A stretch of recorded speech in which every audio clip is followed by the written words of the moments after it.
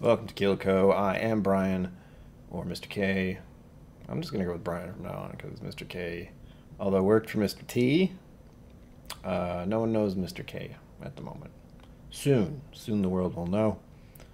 But uh, today we are reviewing Johnnie Walker Red Label. Why? Why? Why? Why? Because nobody likes it apparently. And I actually am kind of fond of Johnnie Walker uh, Black. It was one of the first scotches I drank kind of regularly. And I actually want to get a bottle of that, and um, I'm out of Wild Turkey 101 too. Oh, things I can't afford. Anyway, most people know the Walking Man on there. Um, I knew of it even before I got into whiskey. So we'll do the thing. We're gonna give it every every chance as I knock myself in things. I'm trying to rearrange stuff. I don't know if it's working yet. No, I'm spilling it.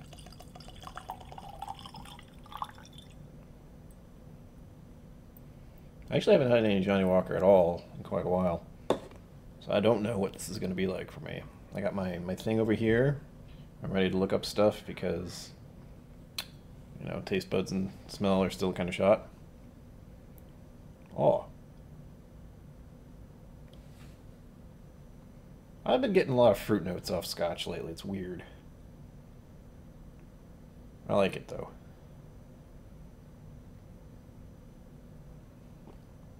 Fresh fruits. A little astringent, unsurprisingly. And it does have that distinct Johnnie Walkerness, the only thing I can call it, because I don't even want to call it peat, because most people would not be able to smell anything remotely peat-like in something like this. Or maybe. I mean, this is the kind of thing I use to introduce people into peated scotches. I'll give them this, or black bottle, or something like that. But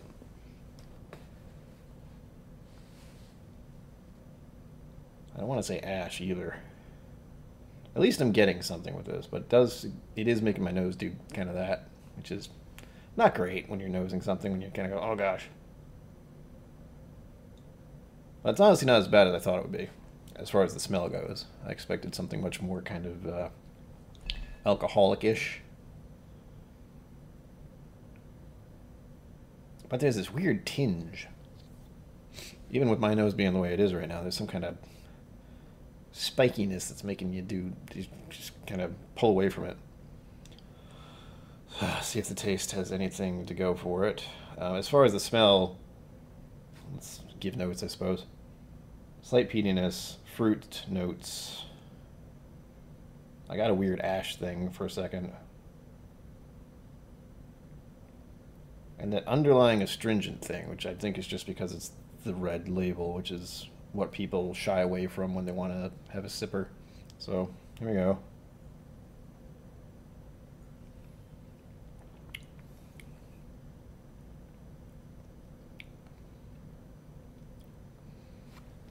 The smell's a bit overpowering when you're trying to drink it. Try that again. I only got like a, a taste and it really didn't do much for me.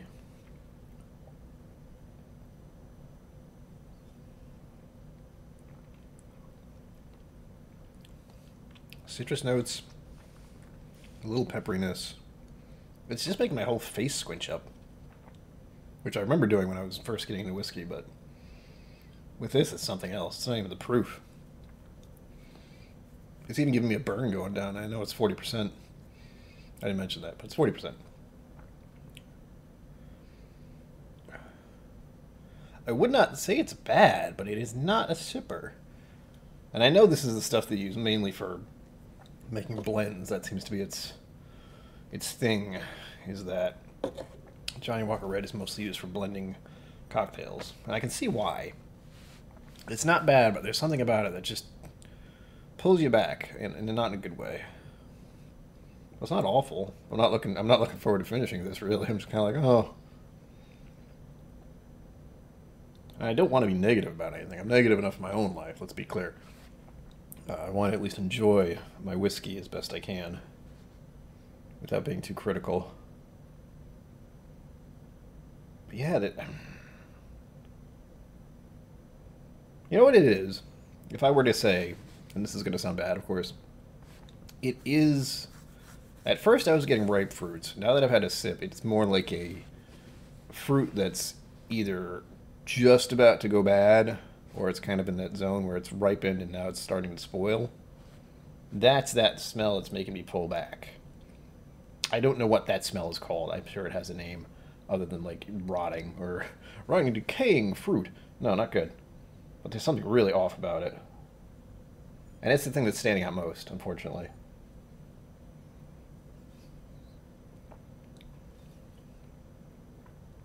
The taste is altogether very brief.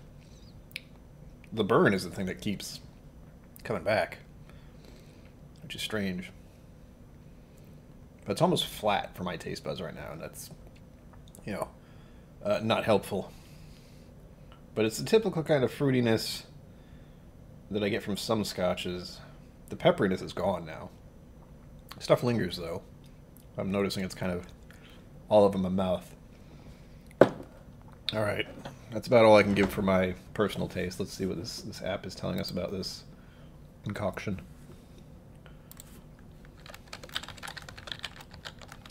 I don't know how loud that is. I'm using a new mic. I don't even know if it works right. We'll see. Johnnie Wilker Red? Walker. It's quality. Quality entertainment. 2.3. People do not like this. Nose profile for the general community keep looking at myself. I shouldn't do that. Vanilla, smoky, and herbal. Oh, that makes sense. Flavor. Spicy, sweet, vanilla, and smoky. I guess. It is a little sweet, but not in a, not in a way that I would really consider sweet, sweet. Like I get sweet, I get bourbons. Vanilla, I barely get. I usually get that from bourbons too.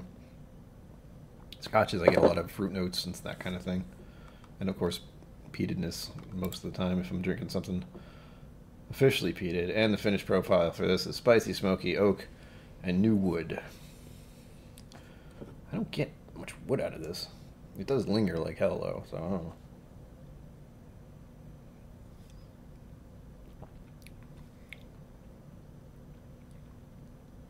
I get wood notes from bourbon.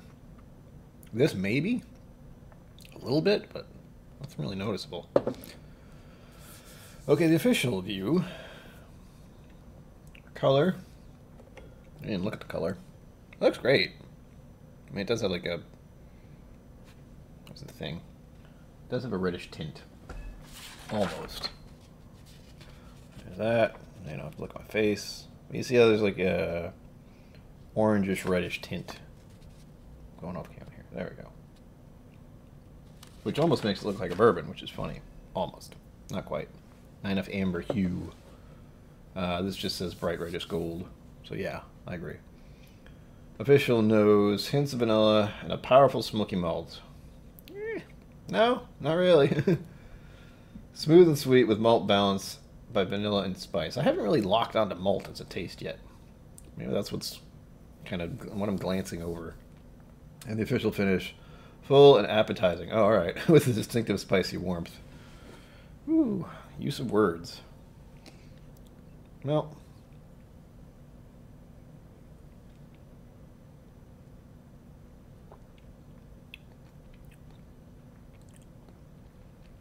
Again, it's not terrible, but I don't think I'd want to use this to introduce someone to Scotch. I would go for the black label first, among other things. There's other things that don't have this kind of a astringent and. As I know this is a mix or a blend. So it's got some stuff that might be a little off-putting other than the the general weird kind of spoiled fruit thing I got going on here for some reason. Again, I would, as sad as it is, I would have to agree that the general consensus is right. This is not a sipper. This is definitely meant for blends uh, as far as making cocktails and stuff. It's not bad, and I still like Johnnie Walker as a default, Johnnie Walker Black specifically, or Double Black if it's available. But um, that's not so much. Um, I guess I should say uh, follow me on all the social medias or whatever. I have something. Something's going to show up, I hope, if I'm doing this right. And um, I'll keep plugging away at these. Hopefully, get this set up a little more organized. Uh, as as it's apparent if you watch any of these videos, I am not a great editor, uh, and I don't do a lot of changes and stuff very often. But doing what I can while I can. Uh, I will be thinking about doing some uh, Irish whiskey stuff next month as my my heritage is Irish, and I have lots of Irish whiskey that I just need an excuse to go and try. So uh, we'll see. Till next time, as I said before, I think in the last video, changing this to live long and prosper.